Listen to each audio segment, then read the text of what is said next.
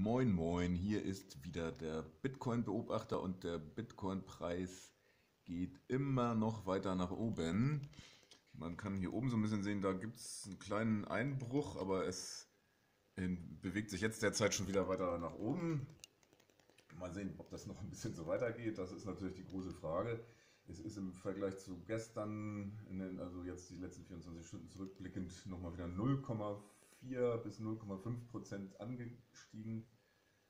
Ähm, ja, und aktuell sind wir bei 23.120 Dollar für einen Bitcoin. Das ist weit mehr, als ich für dieses Jahr noch erwartet hatte. Und ja, man kann annehmen, möglicherweise eine neue Ära des Bitcoin beginnt gerade. Möglicherweise hat das auch ein bisschen was mit Corona zu tun, dass jetzt einfach äh, Kryptowährungen, speziell der Bitcoin, für viele Anleger erstmal interessanter ist. Ähm, man muss natürlich abwarten, wie das sich weiterentwickeln wird. Ich könnte mir vorstellen, dass tatsächlich der Preis irgendwann demnächst wieder nach unten fallen wird.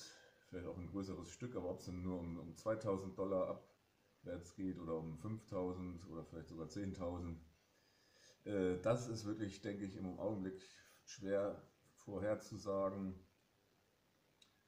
Ne, dann, ja, Fakt ist, der Bitcoin selber, äh, es wird ja immer schwieriger, den Bitcoin zu meinen, weil diese, so, dieses sogenannte Bitcoin-Halving so dafür sorgt, dass äh, immer weniger Bitcoin pro Tag oder pro Jahr, je nachdem wie man das rechnen will, äh, neu entstehen können. Da gibt es immer eine Halbierung von, äh, nach, nach, einer bestimmten Anzahl an Coins, die geschürft wurden.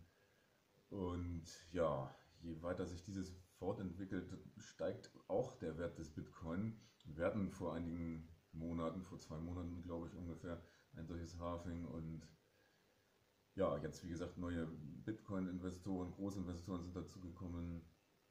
Das alles scheint jetzt so ein bisschen den Preis ganz schön in die Höhe zu treiben, aber man muss sich trotzdem fragen, ob es nicht etwas überbewertet ist, beziehungsweise wie lange das Vertrauen in diesen hohen Preis auch einfach bestehen bleibt. Also, da gibt es bestimmt noch Schwankungen. Ich werde das weiter beobachten.